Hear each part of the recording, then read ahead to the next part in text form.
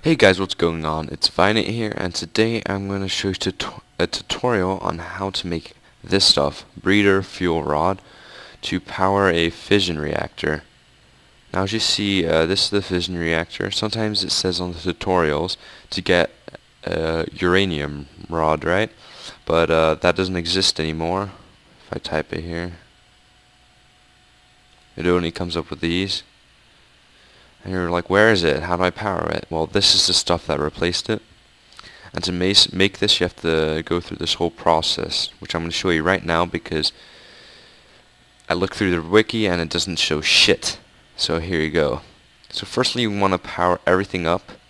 I only use one advanced solar generator. And this doesn't even say it's getting any energy, but look, it's powering up this chemical extractor, which is the first thing you need. Now you're going to have to put water cells or water buckets or whatever to fill this up.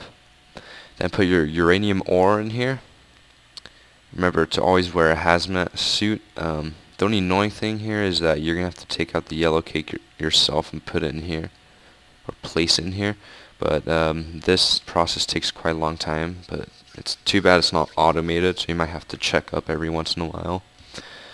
Now this produces um, this uh, gas here, uranium hexafluoride, and then that goes in to this centrifuge automatically does if you put it next to it. And then that creates um, this stuff. Uh, uranium uh, 238 and at times it can make 235 and then all you have to do is that and that to make one of these. So this is what you need.